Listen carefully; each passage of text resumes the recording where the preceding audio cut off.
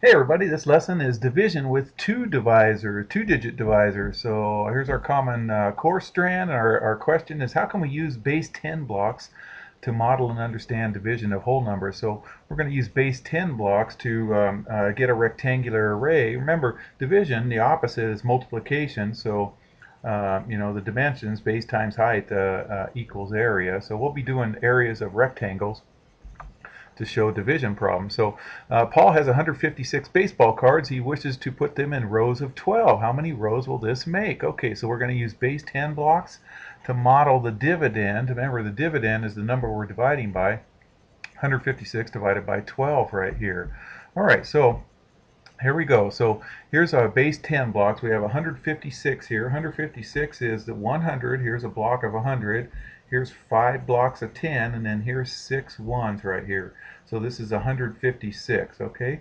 Alright so uh, let's place two tens to the left of the hundreds to form a rectangle. Okay so I'm going to take these two tens and put them up here. So there's so now there's 11 going across okay? And then this is going to be 12 so this is going to represent our divided by 12 part right here okay? So uh, let's see.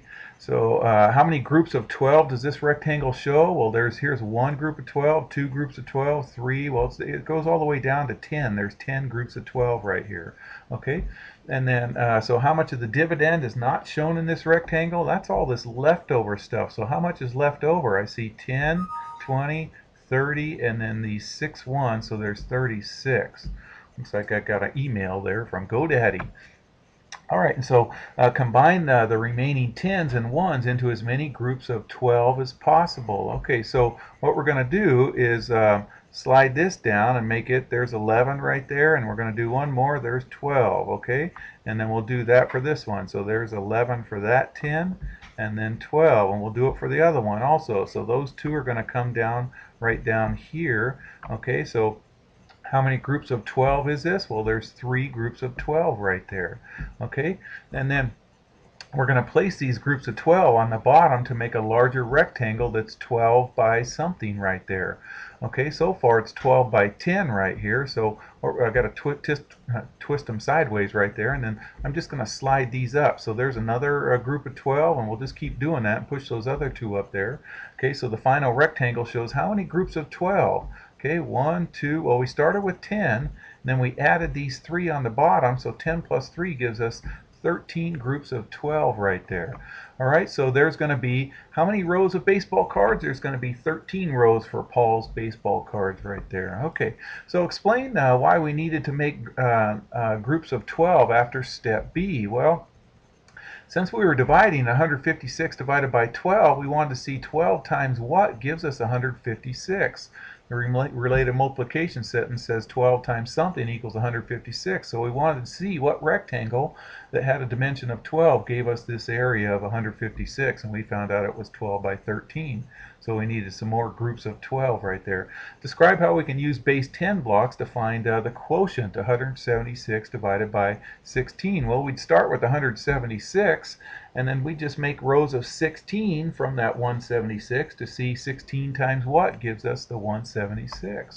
Okay, all right. So uh, two sets of groups of um, the two sets of groups of 12 we found in the investigation are called uh, partial quotients. Okay, so the first uh, we found the first uh, partial quotient was 12 by 10.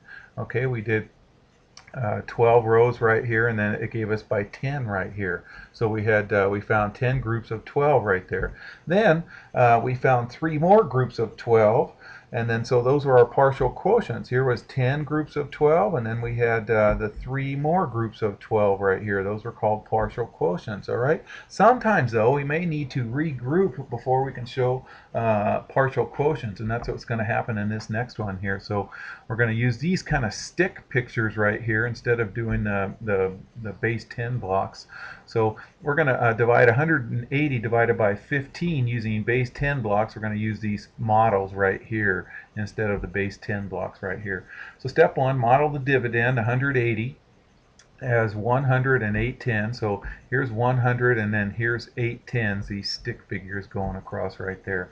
All right, and then uh, now make a rectangle uh, with the 100 and 5 tens okay so we want to divide it by 15 so we're going to make a, a, row of 15 right there so so there's um, uh, uh there's the 15 right here and then this side is still 10 right here okay? And then this is our leftover stuff we're going to get right there. So this rectangle shows how many groups of 15 well how many groups of 15 well there's 10 10 by 15 so 10 groups of 15 right there okay?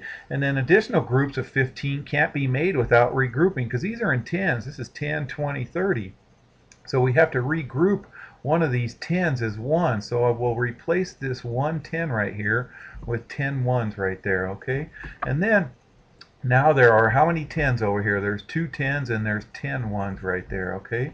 Which is the same as those three tens that we had alright so now we'll decide how many additional groups of 15 can be made with the remaining tens and ones over here the number of groups is the second partial quotient. So the first partial quotient is 10 groups of 15. How many more groups of 15 can we get out of here? We know it adds these add up to 180 because we started with it. So we're going to make uh, the rectangle larger by including these additional groups.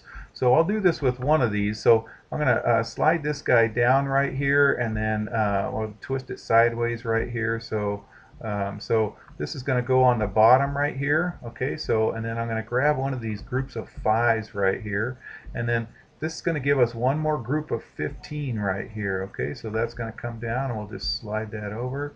Okay, and then so that can go right up there. So there's another group of 15, 10 plus 5. I'll do that with this one also, so we're going to get two more groups of 15, so it becomes plus two more groups. So now, how many groups of 15 do we have? We have 10 groups of 15 plus two more groups of 15. There is going to be 12 groups of 15 right there. So 180 divided by 15 is 12, we found out with, uh, by doing the partial quotients. So how did this model uh, show the uh, quotients right there? How did explain how the model shows the quotients? Well, we began with 180, remember, and then this rectangle showed um, a rectangle of 180 now shows the dimension that it's 15 by 12. So 15 times 12 is 180. So the related division uh, sentence would be 180 divided by this number is going to be this number right here, 180 divided by 15. Remember, division and multiplication are, are inverse relations of each other. Hey, if you guys can, would you guys click like on this video?